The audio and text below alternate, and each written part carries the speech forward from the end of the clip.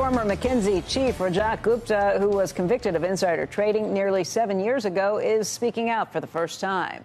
Gupta never testified at his own trial for insider trading back in 2012, which centered around conversations that he had with Raj Rajaratnam while he was on the Goldman Sachs board. Now he shares his side of the story in his new book, Mind Without Fear. Andrew Ross Sorkin spoke to him recently in New York about his conviction, the testimony against him, made by then Goldman Sachs CEO Lloyd Blankfein and a fateful turn of events that kept him on the bank's board even after he had planned to resign, which would have prevented all of this from happening. The fact that Lloyd was rehearsed for many, many hours and changed from his uh, deposition to his witness account, um, that's where it made, made a big difference. Like he kept saying, oh, it's my practice to cover financial results. But that board meeting in October had nothing to do with that. It had to do with 10% of the people being fired. What was your relationship like with Lloyd Blankfein? Because you talk about him at different points throughout the book. And I, am unclear, even now, how you ultimately feel about him. I uh, was brought into the Goldman board by Hank Paulson who I knew for many, many years before. So I didn't know Lloyd very well from before, and you know I had a okay relationship with him, but um, it wasn't the same like Hank. One of the things I did not appreciate was you almost stepped down from the Goldman Sachs board before this ever happened. We had a board meeting where I tendered my resignation, and he gave me um, a gift of. Um, you know, two cufflinks that were from the Goldman founders. In fact, I'm wearing that cufflink today just for. Here's the cufflink that has Goldman and Sachs portraits on it. And uh, so I accepted the cufflinks. Everything was done. Press announcement was drafted. Three days later, I'm in Europe, and they haven't yet released the press this thing. Then I get a call from John Bryan that said, who's also on the board. Who's also on the board. He said, please reconsider your resignation because his financial turmoil and Lehman is going to go bankrupt. We don't want one of our board members to be resigning. And he convinced me not to resign.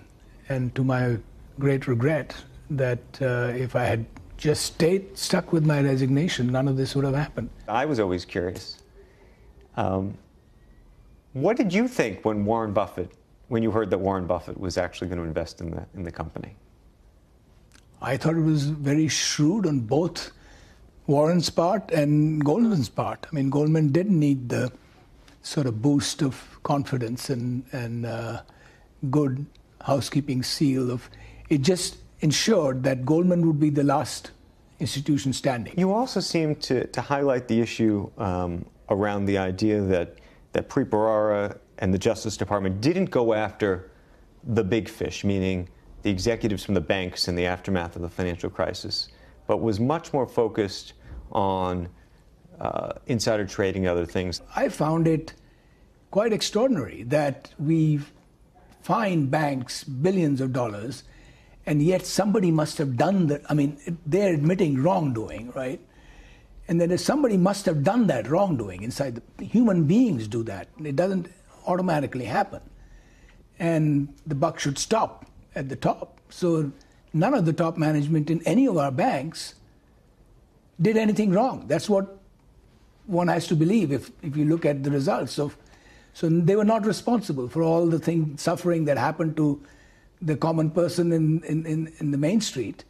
And so his approach towards looking at insider trading you think was? I don't mind whatever his approach to insider trading. The issue is whether, you know, he was there when the financial crimes were done, when the financial crisis was there, certainly right after that. So his obligation, first task, would have been this has been the most devastating thing for average America, right? So who are you going after. Not that he shouldn't go after insider trading, I'm not saying that. But the priorities are misplaced if you can't get to the real culprits of the financial crisis. Do you think, knowing what you know, that there are culprits out there that were not prosecuted? For sure, for sure. Don't you think?